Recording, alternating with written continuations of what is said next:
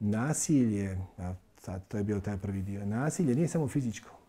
Nasilje je i verbalno, nasilje je i mentalno, a pogotovo je gadno mentalno nasilje prema samom sebi. to svi rade. Odnosno, to svi radimo dok se ne odvojiš od svojih misli, zašto ti treba pet minuta dnevno meditacije. To je ja nisam dovoljno dobar. Ili ja sam bolji od svih drugih. Isto je. Jer svaka samovažnost vodi u samosažaljenje.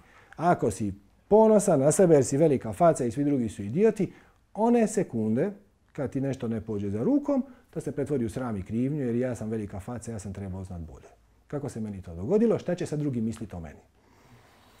I tako dalje, i tako dalje. I kad prestaneš biti nasilan prema samom sebi, kad osvijestiš svoje mentalne obrase, ukloniš svoja negativna uvjerenja, kažem, ja svaki put mislim ovdje za radionicu na tu temu neki ovako kreativni naslov, ali na kraju se sve svede na isto.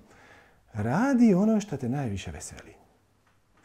I ne brini, jer nije realnost ta koja podržava tebe, nego si ti taj koji podržava tvoju realnost. Šta god ti vjeruješ postane istina. I e sad to je malo teža tema.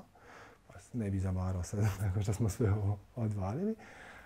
To je to. Možeš u cijelosti oblikovati svoju realnost skupa sa svim okolnostima bez da ih odabereš. Ti samo kažeš ja želim biti sretan i onda se okolnosti počnu preslazgijati na način da te u tome podrže. Sve što treba je osvijestiti svoje mentalne obrazce, suočiti se s njima i onda oni nestanu.